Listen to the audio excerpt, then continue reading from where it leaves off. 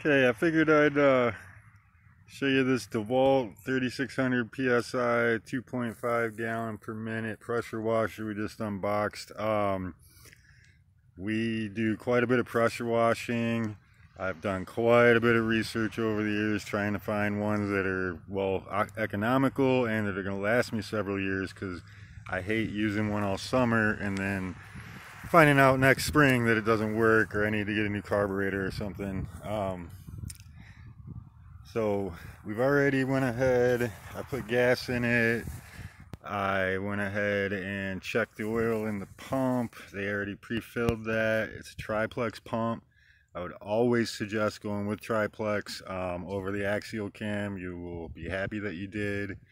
Um, know, basically it's just a 36 psi, 2.5 gallon a minute. It's got the Honda engine on it, the GX200. Um, pretty easy to set up. All it came, this bar was separate. Um, so basically it comes with two screw-in things here. You just screw it right on, easily done. Um, in order to kind of prove that it's a brand new pressure washer I haven't put any oil in it. It does come with brand new thing a Simpson premium four cycle motor oil you know ready to squeeze right into the um, to the oil thing.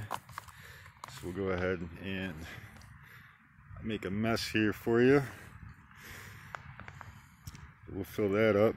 And we're just going to see if it takes one pull to start or two or what? You know brand new Honda engine brand new pressure washer. We'll see what we got to work with here.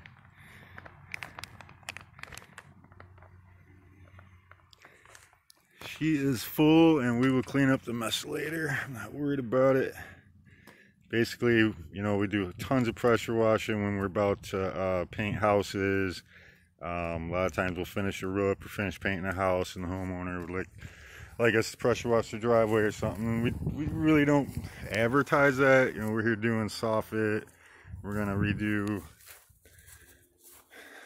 they used oil-based paint under this porch and before we replaced the roof a couple years ago it was leaking there's a lot of peeling and stuff so we're basically gonna you know get the house looking better refinish this deck after we replace some boards and redo this railing um, that's about it one thing is my guys spent a lot of time getting wet from these so we'll see how this thing does. And I'm going to do another quick review after this and let you know how we like it.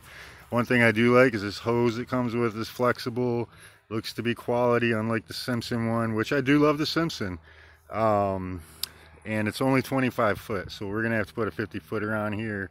But for now this will be okay it's a very pretty pressure, washer. It comes with all the nozzles that you'll need.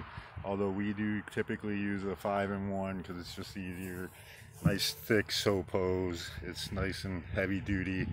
Um, but we're going to see how it works.